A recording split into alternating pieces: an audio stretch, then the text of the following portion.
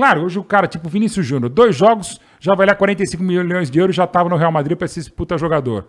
E esse menino Hendrick, eu vou gra Hendrick, gravar sim. isso, cara. Hendrick é o maior jogador revelado na história do Palmeiras. Porra, mas e o Junqueira, primeira estátua, Valdemar Fiume, o Berdan Catani, todos vieram com 19, 20 anos pro Palmeiras, vieram pro segundo quadro, não tinha nem base.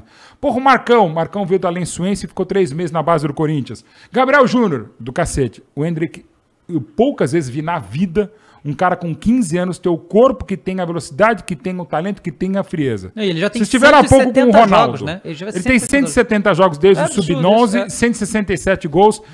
Eu, eu tentaria fazer um gato invertido para o Mundial. Ou seja, botá-lo dois anos mais velho, para ele poder já ser inscrito. Como fizeram lá com o Puskas nos anos 40 na Hungria. Uhum. O Puskas era tão genial que botaram ele ficar dois anos mais velho para ele poder jogar os campeonatos na Hungria.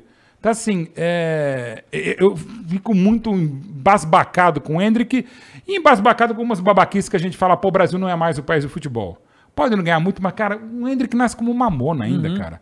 É legal que o mundo tá melhor, porque, assim, 18, Bélgica e França, puta jogo semifinal.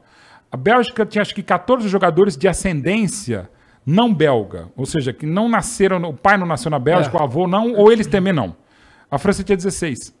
Então, assim, a Bélgica tem a riqueza étnica que o Brasil sempre teve. Ela tem agora. A França, Inglaterra cada vez mais, até Itália e Alemanha que eram mais fechados. Então você tem uma riqueza étnica que também explica o porquê disso aí. Pega o último título mundial do Brasil Penta.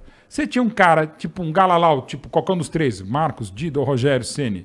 Você pega um, um cara tipo Cafu, você pega outro biotipo tipo Roberto Carlos, você pega Ronaldinho Gaúcho. Cara, é muita riqueza étnica.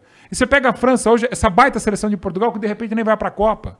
Você pega a Itália que ganhou a Eurocopa, você tem dois brasileiros como Jorginho e Emerson Palmieri. Então você tem uma riqueza étnica que antes só o Brasil tinha, ou o Brasil tinha mais. Porque a Argentina que tem uma escola tão linda, mas tem poucos negros no país. É. Se a gente tivesse o mesmo número de negros que tem o Brasil, é, talvez tivesse ganhado o mesmo número de Copas do Mundo. Porque eles têm dois dos maiores que eu já vi. O Messi, que pra mim é o maior de todos, e o, e o Maradona. Marco Pelé? Não, Pelé é de outro planeta. Ah, tá.